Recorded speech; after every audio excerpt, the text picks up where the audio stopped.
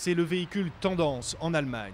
Quatre roues, deux poignées, le déambulateur est à chaque coin de rue et la police s'en mêle.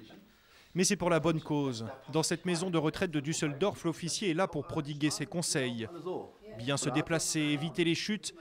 La police a dû s'investir dans cette nouvelle mission. Les gens vieillissent et ils n'ont pas envie de rester à la maison comme auparavant. Ils veulent pouvoir se déplacer. Et après la théorie, vient l'heure de la pratique. Je me tiens bien droit. Ce déambulateur, c'est bon pour ma santé. Pour ces seniors, un simple trottoir peut devenir un obstacle insurmontable. La ville s'adapte donc à eux. On peut le voir en faisant ses courses. Une marche pour attraper les produits, des chariots avec siège intégré, une loupe pour bien voir les étiquettes, un sol antidérapant. Dans cette grande surface berlinoise, on n'a pas hésité longtemps avant de mettre en place tous ces aménagements. Les retours sont très positifs et donc on a étendu ces mesures dans nos nouveaux supermarchés et maintenant on n'est plus les seuls à le faire. Quand ils ne font pas les courses, les seniors multiplient les activités, le self-défense à ses adeptes.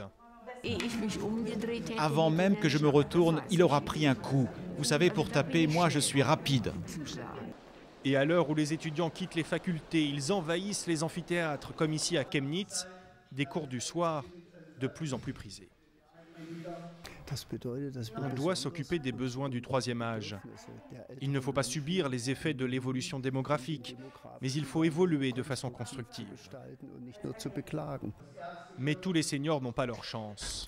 Certains, et ils sont de plus en plus nombreux, doivent se remettre au travail. C'est le cas de Wolfgang, 69 ans, sur le pont alors que toute la ville dort. Je me lève à 3h45. C'est tôt. Oui, c'est tôt, mais je ne peux pas faire autrement.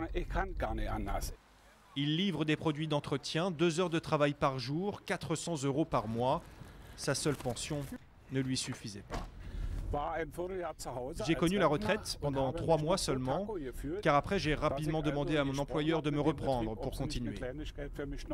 Hans, lui aussi, a dû se remettre au travail. Il fait de la comptabilité à domicile. Les chiffres, c'est son fort. Il a vite fait le calcul.